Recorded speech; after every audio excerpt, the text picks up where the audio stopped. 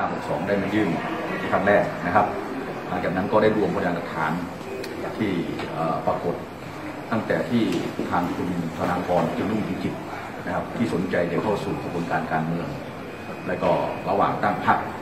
ซึ่งเป็นข้อมูลที่ละเอียดที่สุดนะครับ จากบทความและก็การเสวนาต่างๆ ที่ปรากฏในสื่อหนังสือพิมพ์ วันนี้ที่เดินทางมาช้าเนื่องจากว่ามีทางผู้ประสงค์ดีนะครับ ได้ส่งคลิปเสียงต่างๆ ที่ปรากฏถ้อยคำต่างๆ ที่วันนี้ไม่อาจที่จะนำมาส่งกตได้ต้องรอการตรวจสอบตัดต่อซะก่อน น่าจะเป็นวันจันทร์นะครับ จริงๆแล้วผมจะรวบรวมส่งวันนี้คนเดียวเนื่องจากว่าได้นัดทางเอ่อพวกเราแล้วว่าจะมายื่นก็ยื่นเฉพาะในส่วนที่บรรยาย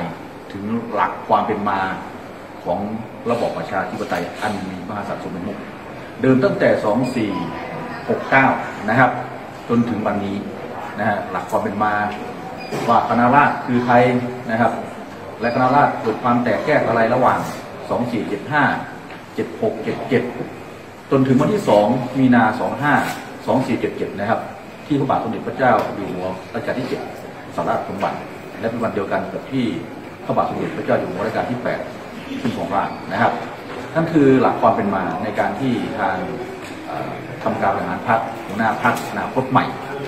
ได้ใช้วัฒกรรมในการสานต่อภารกิจ 247 2475 นะฮะที่ไม่ได้ขยายความว่าหมายถึงอะไร มันไม่ใช่มีเฉพาะถ้อยคำที่ปรากฏนะฮะจากที่สื่อได้นำมาเสนอมันมีถ้อยความมากมายที่ผมได้รวบรวมมานะครับ ในวันนี้ก็ได้บรรยายในคำร้องเพิ่มเติมทั้งหมด 34 หน้ากระดาษนะครับ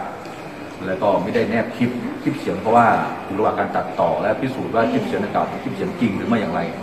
แต่ 80%ถึง 90%นะฮะเป็นคลิปเสียงที่มีแหล่งที่มาชัดเจน ก็จะมอบเพิ่มเติมนะฮะให้เป็นลำดับหนึ่งประมาณ 3-40 คลิปนะครับ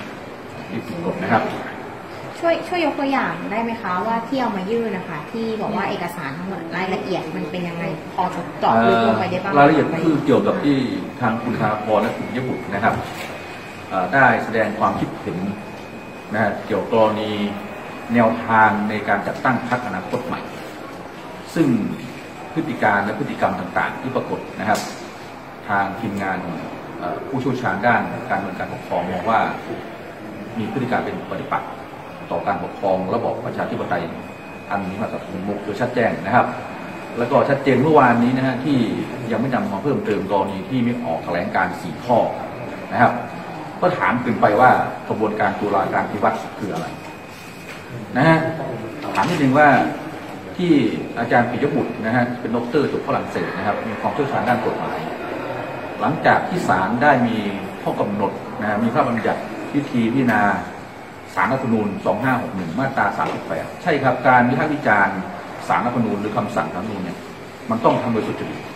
ก็ถามคืนไปว่ากระบวนการตุลาการนี้ว่าคืออะไร หมายความว่าตุลาการเก้าตุลาการของสารรัฐธรรมนูญเนี่ยตัดสินไม่ถูกต้องนะครับ นะก็มีส่วนหนึ่งที่ยังไม่เพิ่มเติมเข้ามานะครับวันจันทร์จะมาเพิ่มเติมในส่วนนั้นก็เป็นเรื่องของที่ผมได้ปรากฏชัดเจนในคลิปอยู่คุยว่าให้ทางผู้อำนวยการสารรัฐธรรมนูญเนี่ยหยิบเรื่องนี้ขึ้นมาต่อไปนี้ถ้าหากใครไม่พอใจคำสั่งศาลก็บอกว่าตุลาการพิวัตรใช่ไหมฮะก็คงคงทำให้กระบวนการทางกฎหมายบ้านเราเนี่ยเสื่อมเสียลงไปนะครับรายละเอียดตรงนี้คือมันลึกเยอะมากนะครับเดี๋ยวยังไงคือรอให้ฝ่าย พัฒนาคนใหม่แก้แล้วกันนะครับ เดี๋ยวผมจะส่งไปไฟล์ให้ดูนะครับ อย่างที่คืองวดนี้ทำเยอะละเอียดพอสมควรนะครับขอ90%นะมั่นใจทุกพักแน่นอนนะครับ เอา 99.9%ดีกว่านะฮะองค์กรเลือกตั้งด้วยนะครับ อันนี้ความมั่นใจผมในฐานะผมเป็นนักกฎหมายที่รวบรวมหลักฐานนะฮะยังไม่ส่งคลิปนะฮะรอคลิปอีกด้วยวันจันทร์นะครับชัดเจนนะครับ มีอะไรเพิ่มเติมไหมค